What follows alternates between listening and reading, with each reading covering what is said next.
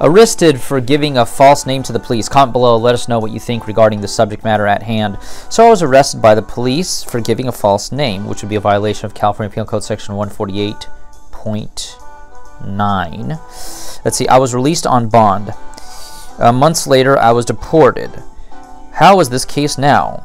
Can it be fixed so I don't have problems if I return to the country? Yeah. Okay, if you didn't go to court, let's say you were um, arrested and then deported in the interim and you didn't go to court for a criminal case, you have a warrant.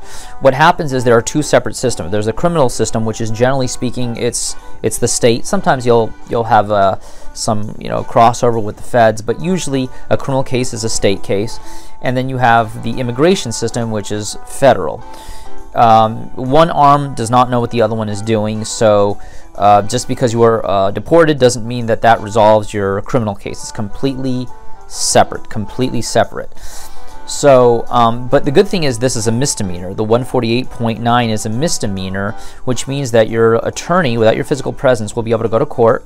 He'll be able to add the matter onto the calendar, and he will be able to talk to the judge, explain the situation to the judge, and more than likely, the warrant can be recalled without your physical presence you can then, your attorney can then have you sign something called the 977 waiver so that you don't have to physically appear in court and then the attorney as long as there you know the attorney could resolve the case without your physical presence or at the very least if you want to be in court to resolve the case with your attorney um, all that matters is that the warrant gets recalled. Once the warrant is recalled you can come into the country again without any problems of getting stopped because of a warrant, and then you can take care of your court case. But if you don't want to deal with it, considering it's a misdemeanor, it's not considered really a crime of moral turpitude, you should be able to take care of this without your physical presence. Your attorney should be able to handle it.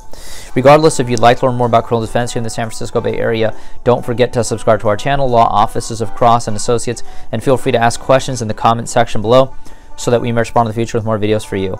But if you've been accused of a crime here in the San Francisco Bay Area and need a representation, give us a call for free consultation at 1-800-862-7677. Once again, 1-800-862-7677.